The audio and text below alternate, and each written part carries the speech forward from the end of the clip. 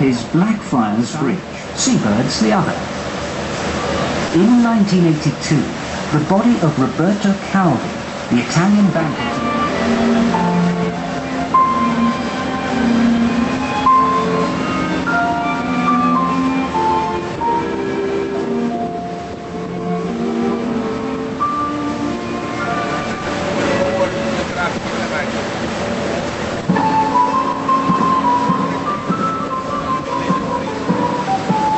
of us is Southwark Bridge, the narrowest London bridge. The area of Southwark on the right was once notorious for its charm. River stairs can't be removed. On the right, just this side of Cannon Street, predecessor, is now Arizona in America.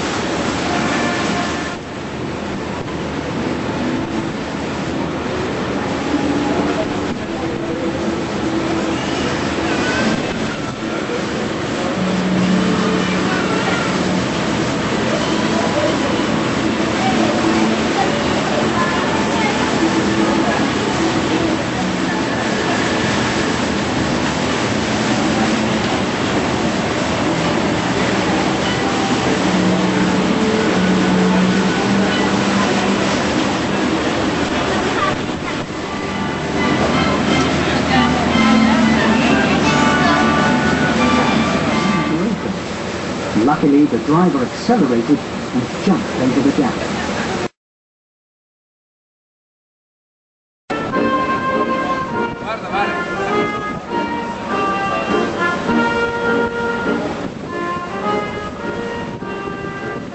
London. 40 to 50 years ago, this part of the Thames would have been crowded with barges, cargo and passenger ships, and the skyline thick with crowds. For a long time, this area was semi-derelict.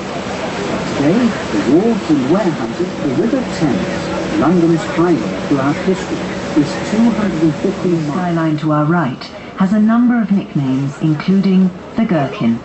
Completed in spring 2004, it is home to the giant insurance company Swiss Re, and at 40 stories, it's the second highest structure in the city after the NatWest Tower to its left. The highest building in all of London is still Canary Wharf. King Charles II thought it so funny, he forgave blood.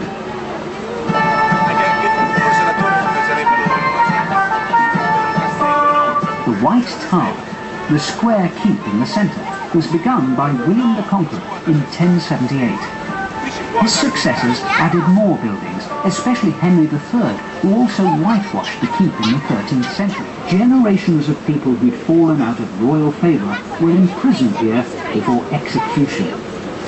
Many were brought by boat, entering the tower often for the last time through Traitor's Gate in the centre of the River Wall and Catherine Howard before they were beheaded. Went there for fresh fish and foul language.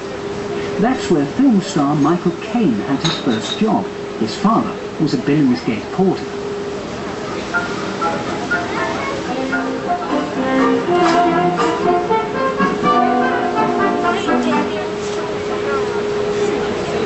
Look up between the last two buildings before London Bridge 66.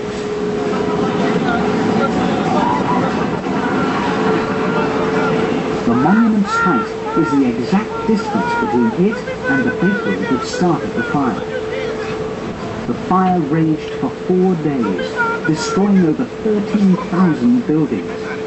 Surprisingly, very few people were killed, and the fire cleansed the city of the rats that had spread the Great Plague the year before. Dating from medieval times, and Fishmonger's Hall on the right beside the bridge is connected to the Fishmongers Guild. The fishmongers in the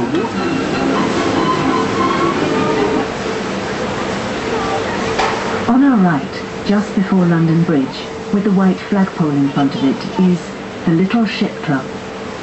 The club was formed in 1926 by yachtsmen based in the City of London.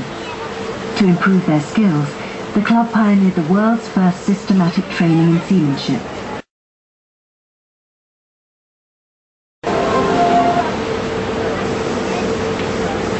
Although Vintners Hall on the right, looks classical. It was only built in 1992. St. Peter's in Rome is said to have inspired its appearance.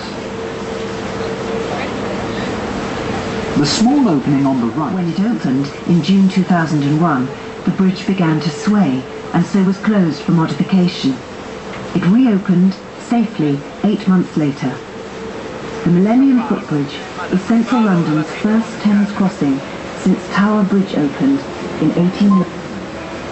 Eventually, the lawyers moved in. At first, they often spent afternoons fishing in the river. He tried to introduce a poll tax, and the palace was destroyed during the peasants' revolt that followed. Next door is Shell Mex house. Cleopatra's Needle, the obelisk on the right, came from Egypt and is well over 3,000 years old.